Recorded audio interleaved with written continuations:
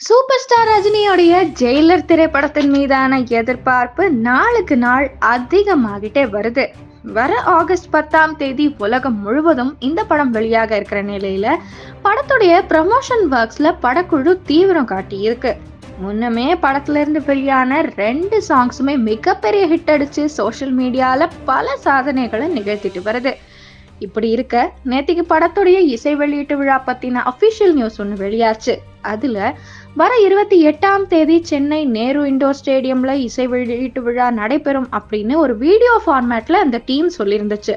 இந்த செய்தி ஒட்டுமொத்த தமிழ் சினிமா ரசிகர்களையும் குஷிப்படுத்தி இருக்கு சூப்பர் ஸ்டாருடைய சமீபத்திய திரைப்படமான அண்ணாத்த திரைப்படத்துக்கு இசை வெளியீட்டு விழாவே நடக்கல. அதனால இந்த ஜெயிலர் திரைப்படத்துடைய இசை வெளியீட்டு விழா மேல ரசிகர்கள் ரொம்பவே ஆர்வமா இருக்காங்க. மேலும் படத்துடைய தயாரிப்பு நிறுவனம் சார்பில் இசை வெளியீட்டு விழாவுக்கான தௌசண்ட் ஃப்ரீ பாசஸ் வழங்கப்படும். அப்படின்னும் ஒரு நபருக்கு மேக்சிமம் ரெண்டு பாசஸ் வழங்கப்படும் அப்படின்னும் ஒரு அறிவிப்பு இப்போது வந்திருக்கு. இந்த ஃப்ரீ பாசஸை நாளைக்கு மதியம் ஒரு மணிக்கு Jailer dot Sun Pictures dot in அப்படிங்கிற வெப்சைட்ல பெற முடியும் அப்படின்னு சொல்லப்படுது. பொதுவாவே சூப்பர் ஸ்டார் ரஜினி மட்டும் இல்லாம பெரிய நடிகர்களுடைய படங்களுக்கான இசை வெளியீட்டு விழாவுக்கான ரசிகர்கள் மன்றங்களுக்கு மட்டுமே பாசஸ் வழங்கப்படும். ஆனா பொதுமக்களுக்கும் ஒரு அரிய வாய்ப்பா ஏற்பாடு செய்யப்பட்டிருக்கும் இந்த முறை எல்லார் மத்தியிலும் பாராட்ட பெற்றிருக்கு இது போன்ற தொடர்ந்து ஜெயிலர் அப்டேட்ஸ்களை உடனுக்குடன் பெற முத்திரை சேனலை சப்ஸ்கிரைப் பண்ணுங்க.